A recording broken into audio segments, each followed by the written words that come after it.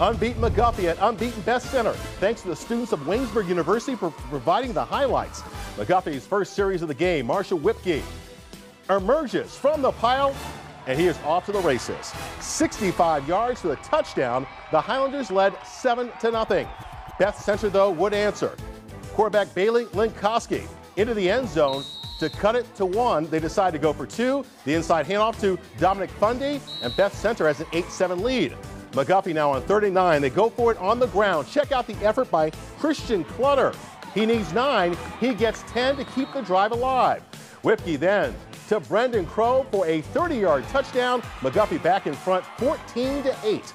Beth Center would try and answer through the air. Linkowski going deep, but intercepted by McGuffey's Brendan Crow, and McGuffey stays perfect, winning 48 to 14.